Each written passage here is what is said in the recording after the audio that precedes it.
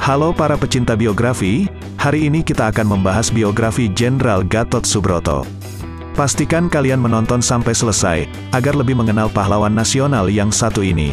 Jenderal Gatot Subroto Berasal dari Jawa Tengah, lahir tanggal 10 Oktober tahun 1907 di Banyumas, Jawa Tengah. Meninggal tanggal 11 Juni tahun 1962 di Jakarta, Indonesia. Meninggal di usia 54 tahun.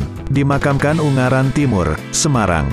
Riwayat singkatnya, tokoh perjuangan militer Indonesia dalam merebut kemerdekaan. Panglima Tentara dan Teritorium atau T dan T4 di Ponegoro wakil staf kepala Angkatan Darat, ikut serta dalam pasukan Jepang pada Perang Pasifik. Dengan melihat potensinya, pemerintah Jepang mengangkatnya menjadi kepala detasemen polisi.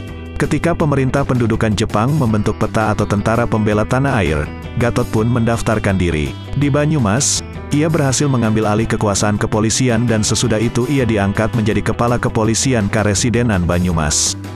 Bersama-sama dengan BKR atau Badan Keamanan Rakyat, ia aktif berunding dengan komandan militer Jepang dalam usaha memperoleh senjata, melahirkan gagasan untuk mendirikan sebuah akademi militer gabungan yang telah terwujud dalam bentuk Akademi Angkatan Bersenjata Republik Indonesia atau AKABRI. Selama berkarir di bidang militer, Gatot Subroto memiliki 17 bintang jasa dan setelah wafat pangkatnya dinaikkan menjadi Jenderal Anumerta. Nah itulah biografi dari Jenderal Gatot Subroto.